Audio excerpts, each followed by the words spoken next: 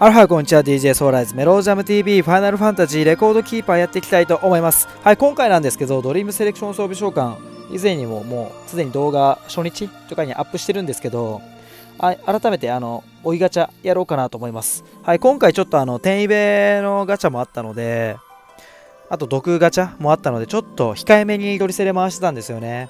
であの12月1日水曜日14時59分までということでまあ、ちょっと前日にはなるんですが、飛行か悩んでる方いたら、あの、あと、飛行と思ってるのに、聞き忘れになるっていうのと注意喚起も、あ、そういえば今日はや、今日までだっていうね、気づいてくれて、回す人もいると思うので、あのー、回す予定の人は忘れずにっていう感じで。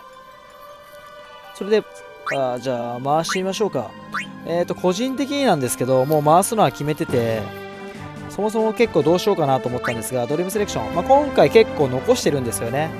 回したのは新奥義と、あのー、レジマテ、あ、1回ドリ、あれ回しましたね。多分せ、あ、戦技、戦技かな？戦技1回回したのかな？戦技1回回しましたね。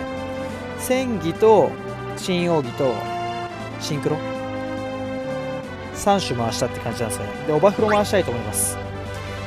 まあ、なんでオーバーフロー取るのかっていうのなんですが、まあ、それも取った後に、まあ、まずガチャ行きましょう。オバフロ2個もらえるんですよね。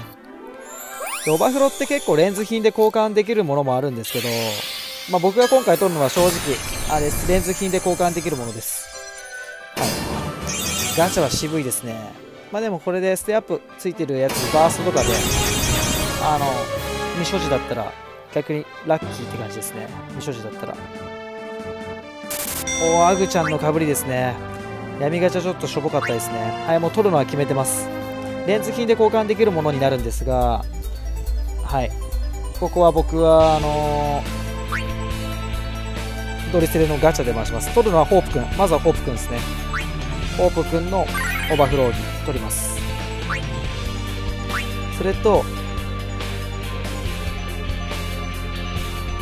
霊式。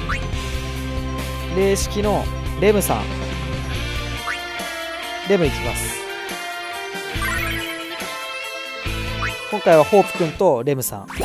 こちらを取りました、今聖パーティー一応並べてるんですけどはい。まあ、これが新しく僕の中の聖編成の新パーティーでいこうかなと思います。これちょっと高難度では実戦で使ってないのでまあ、これで固めたいかなと思うんですけどあれですね、ホープくん。まあ、今回取ったんですけど、ホープくんね、あの、D 角持ってないんですけど、これオーバーフロー奥義。リミットブレーキ繊維か。あ、リミットゲージ1個貯める。あ、これそういう感じか。オッケーオッケーオッケー。あのー、これもオーバーフローか。これオーバーフロー奥義に。セイントオーラでは使わないよね。ゲージ1個貯める。覚醒が2個目か。覚醒2個持ちになったのか。ああ、味方回復と踏みとどまる。いいっすね。サブヒーラーとしても、これ新しくゲットできたやつですね。この戦技。えーと、踏みとど、あ、踏みとどと、一旦なし。これも緊急事態で使えますね。オッケーオッケー。結構いいの持ってるかもしれない。そう。あの、レムと、ホープを、ホープくんを強化することによって、ちょっとね、正パーティーをより強くしたいっていうのがあるんですよね。で、あの、D 角どっちも持ってなくて、新奥義も持ってないんですよ。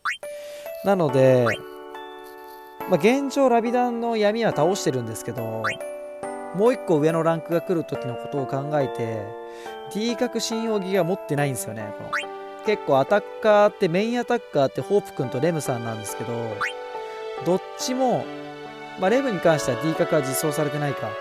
新奥義持ってないんですよ。なので、選びました。